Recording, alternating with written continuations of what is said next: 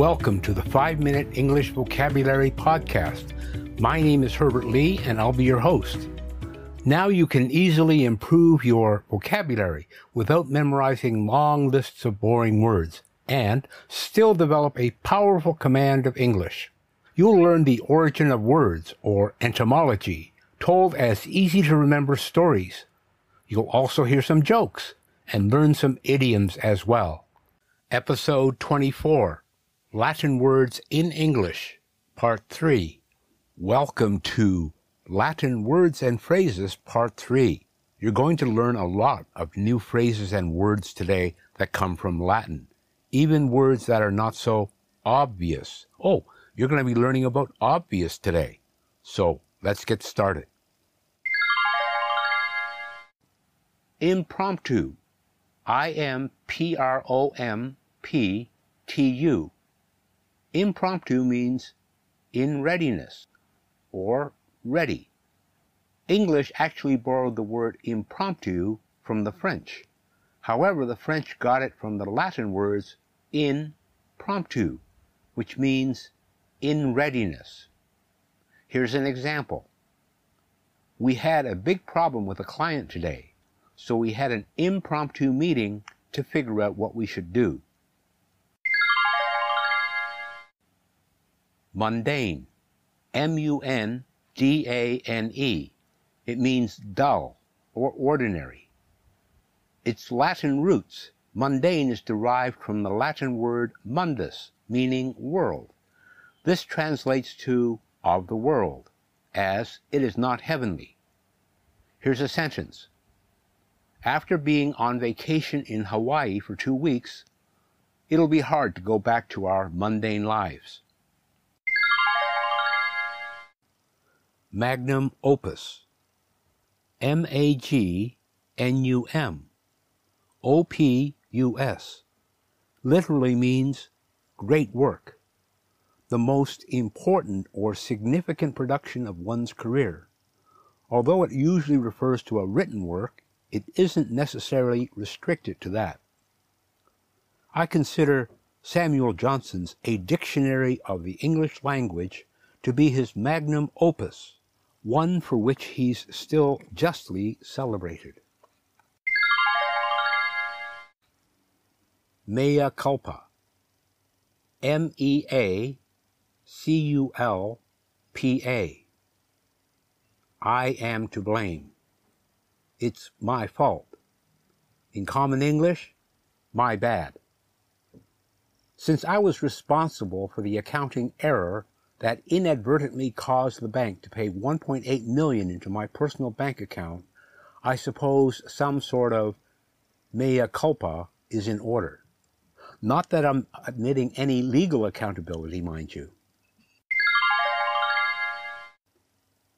Modus operandi. M O D U S.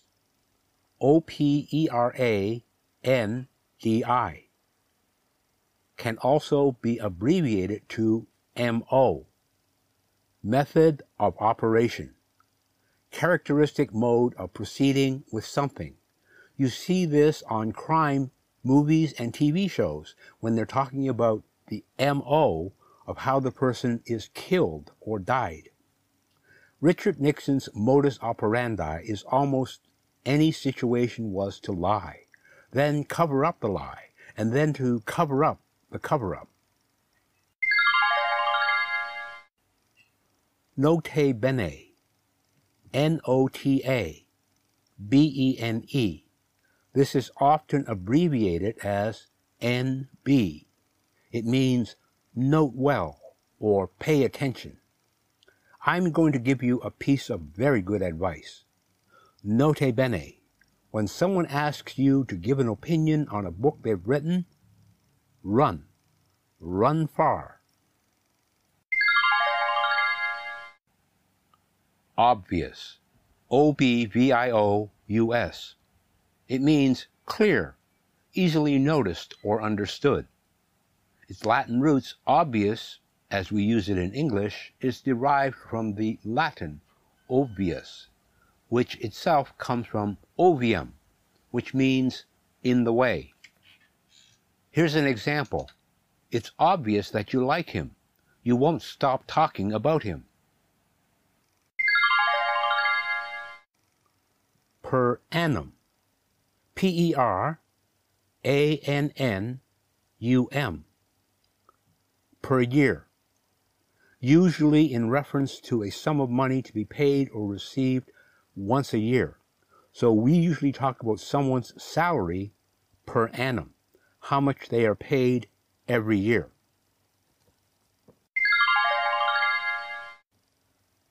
Per capita, P E R C A P I T A, literally for each head or for each person. So usually we talk about uh, countries' GDP, gross domestic product, in terms of per capita.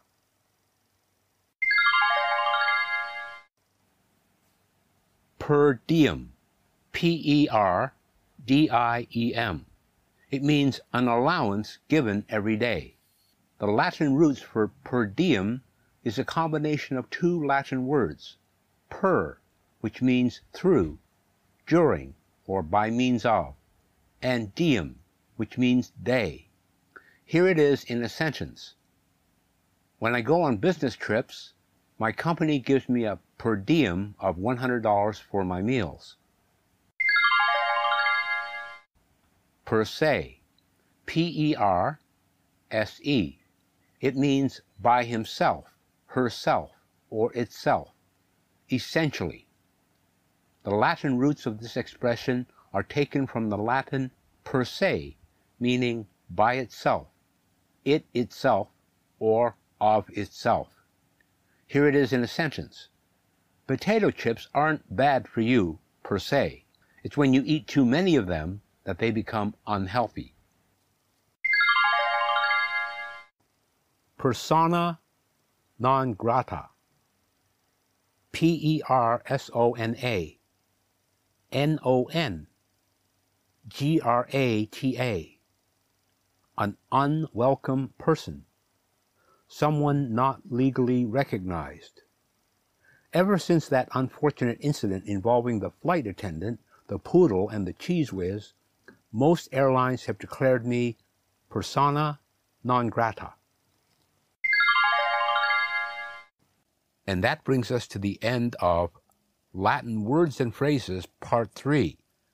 Be sure to listen to Part 4 next week.